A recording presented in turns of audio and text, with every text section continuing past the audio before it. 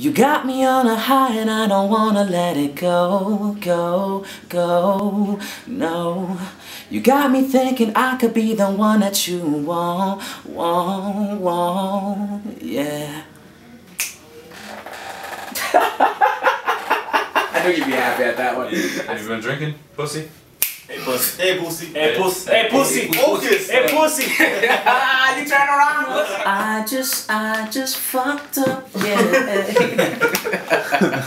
So what we do is like every Sunday we're gonna have these jam sessions and basically I'm pulling together like a lot of the artists that I work with or uh, people that I just want to see grow. You know what I mean? Like as an artist, as a photographer, as a videographer, like we're all getting together every Sunday and bouncing ideas, filming stuff, recording things, setting goals for each other and just kind of just, you know, that's it, just being in a creative atmosphere. So today we got Crucial here, um, my man Fredson, and we're working on, well the first thing we're working on is this joint by Crucial, brand new exclusive joint.